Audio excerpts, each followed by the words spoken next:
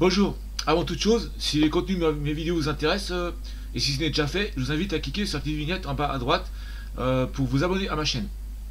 Donc là, je vais parler d'une information euh, que j'entends depuis des années à propos du, taux de chômage, surtout depuis, depuis, depuis que Macron est au gouvernement, parce que l'INSEE annonce des chiffres complètement faux, basés sur des, sur des, sur des données complètement fausses.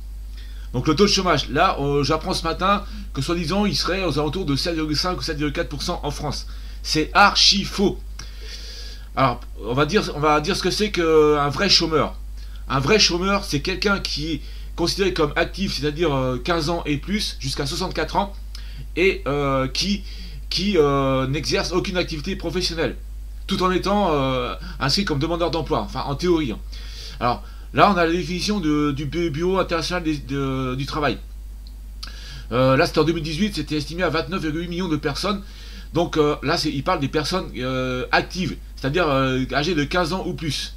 alors en fait, il faut prendre un sous-ensemble de ça parce que les 15 ans ou plus, ça, concerne aussi les étudiants et les lycéens. Donc en fait, ce, qu'on, a, ce que l'OBIT intègre là-dedans, c'est les gens âgés de 15 à 64 ans sont euh, soit, euh, soit actifs, soit demandeurs d'emploi. Donc actif, ça peut être du temps partiel. Hein. Euh, et ça peut être aussi éventuellement être, être auto-entrepreneur, chef d'entreprise, etc. Et le reste, c'est les chômeurs, c'est ceux qui sont inscrits au, normalement au pôle emploi, mais c'est pas toujours le cas. donc voilà, alors il y a à peu près 30 millions d'actifs. C'est-à-dire que qui sont dans une de ces catégories-là, soit travailleurs euh, avec une rémunération ou, euh, euh, enfin un revenu, soit inscrits en tant que chômeur. Et il faut savoir qu'entre 15 et 64 ans, il y a quand même une grande part de la population qui est inactive. C'est-à-dire qu'elle est, est, dans aucune de ces catégories-là. Alors ça concerne évidemment les lycéens, étudiants, comme j'ai dit avant, et ça concerne des personnes qui, euh, qui, sont, qui, sont, inactives, c'est-à-dire qui ne travaillent pas et qui ne sont pas inscrits en tant que demandeurs d'emploi. Alors les personnes qui comme moi sont RSA, il y a des personnes qui comme moi sont RSA ne sont pas inscrits au pôle emploi. Pourquoi? Parce qu'ils n'ont pas d'indemnité chômage. Moi je suis, je suis au RSA depuis, euh, depuis 2013. Ça fait 9 ans que je suis au RSA. Sachant que j'ai plein de diplômes euh, en informatique, mathématiques, biologie, etc. Et, je n'ai aucun emploi. Donc ça fait 8 ans que je suis euh, au, RSA. Euh, mais je suis inscrit quand même à Pôle emploi, hein, avec des déboires de temps en temps, parce qu'il y, a des choses qui. Il y a des couacs au niveau de Pôle emploi. Bon, je raconte pas tout. voilà, il y, a, des couacs. bon. Et en tout cas, je suis, au RSA et inscrit comme demandeur d'emploi. Normalement, je devrais être quelqu'un considéré comme inactif. Euh, donc, euh, alors 15 ans en plus. Donc voilà, ce que je voulais dire, c'est que là, il y a, parmi les, inactifs entre les 15 et 64 ans, il y a 29% euh, de la population quand même. Hein. C'est-à-dire qu'il y a quasiment une personne sur trois de, âgée entre 15 et 64 ans qui, qui ne travaille, qui n'a pas d'activité rémunérée ou qui n'est pas inscrit en tant que demandeur d'emploi. Euh, c'est quand même énorme. En, France, on est un des pays euh, au niveau de l'Europe qui, a le plus fort taux d'inactivité qui soit. En Europe, le taux d'inactivité moyen est de 73,7% et en France, euh, enfin, le taux d'activité est à 73,7% et en France, on est à, alors j'ai vu ça plus haut, 71 et quelques. on doit être là. Ah, je vois ce que j'ai vu ça tout à l'heure. on doit être à 71,9. Euh, mais enfin, la plupart des pays sont entre 70 et 80% taux d'activité. Alors comme je vous l'ai dit, hein, ça, concerne surtout les, jeunes entre 15 et 18 ans qui sont lycéens et puis euh, au-dessus qui sont étudiants. Donc la, part qu'on trouve là, c'est en partie, en partie ça. Mais c'est pas que, hein, c'est aussi des pauvres qui sont pas inscrits euh, en tant que demandeurs d'emploi et qui touchent le RSA ou des choses comme ça. Ou des personnes handicapées également. Donc voilà, alors ça c'est le premier point. Donc euh, euh, je, voulais dire, que le, nombre d'actifs en France est d'à peu près 30 millions, enfin en 2018 c'est 29,8, on va dire que c'est 30 millions en 2021. Maintenant, on va passer à la partie chômage. Là où, euh, le gouvernement dit qu'on a 7, enfin je sais plus, 7,4% de chômeurs, c'est archi faux. C'est beaucoup plus en France.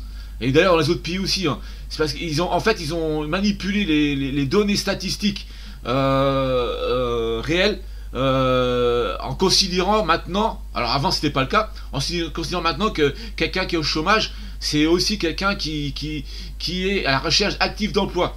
Et quand, et quand vous êtes de catégorie A et que vous remplissez le, le, truc de Pôle emploi, mettez-vous, mettez bien ça, mais cochez bien la case que vous êtes en recherche active d'emploi. Ne faites pas l'erreur de, faire baisser euh, les chiffres du chômage euh, en, ne cochant pas cette case-là. Ce serait une grosse erreur. Euh, vous êtes en recherche d'active d'emploi, même si c'est partiellement, vous l'êtes toujours. vous êtes inscrit au Pôle emploi, c'est pas pour, pour pas pour, pour qu'on vous radie des, statistiques officielles des demandeurs d'emploi.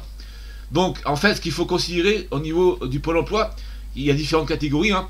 Alors là où en France, on, considère que quelqu'un qui travaille à temps partiel, c'est, un c'est, quelqu'un au chômage, ou qui, a une formation, c'est au chômage. En Allemagne, on considère qu'un temps partiel, c'est, c'est, quelqu'un d'actif. C'est pour ça qu'en Allemagne, les chiffres du chômage sont, plus faibles qu'en, France. Parce qu'en France, euh, quelqu'un qui travaille 15 euh, heures par, euh, par, semaine, par exemple, c'est considéré comme un chômeur. Euh, c'est complètement faux. Un vrai chômeur, c'est quelqu'un qui n'a qui n'a pas d'emploi euh, rémunéré du tout euh, pour le mois précédent. D'accord? Donc, en fait, ce qu'on considère là, avec le Pôle emploi, ce sont la, catégorie A. La catégorie A, ce sont ceux qui n'ont pas qui n'ont pas exercé une seule activité rémunérée durant le mois précédent. C'est ça qu'il faut tenir compte. Et donc là, on a les on a les chiffres. Hein. Euh, on voit qu'au deuxième trimestre euh, en France, alors oui, parce qu'il y a eu la, crise de Covid, hein. on voit les courbes là. Ce qu'il faut considérer, c'est la, catégorie A, tout comme c'est écrit là. Hein. Pas surtout pas ABC, c'est la catégorie A. C'est ça qu'il qui faut prendre en compte pour, le, pour le, taux de chômage en France. Donc on voit que là, avant les années 2000, il y a eu plus de 3 millions de chômeurs. Euh, alors ça, c'était sous, sous le gouvernement Chirac droite. Et là, on voit à partir de 1999, c'est là où il y a eu Jospin. Et les 35 heures, on a eu euh, une baisse euh, drastique du chômage euh, de catégorie A, en, dessous de 2,5 millions de chômeurs. Alors ça, c'est quand même fantastique. Hein. Après, il y a eu une petite remontée, effectivement. Bon, c'est vrai qu'il y a eu l'histoire de l'an 2000, ça fait, il y a eu pas mal d'activités à cette époque-là. Et à cette époque-là, j'ai eu, une activité aussi en tant qu'informaticien, déploiement. j'ai eu un peu d'emploi, mais c'était quand même assez ricrac. Hein. Enfin, c'était assez short. Euh, et là, c'est remonté euh, jusqu'à 2005. Euh, alors, je sais pas pourquoi. Et là, hop, ça a rebaissé à nouveau. Bon. Et là, ça a remonté à partir de 2008 avec la, crise des subprimes, etc. Donc, avec le, fric que les banques ont, enfin, que les banques ont coûté au niveau des États.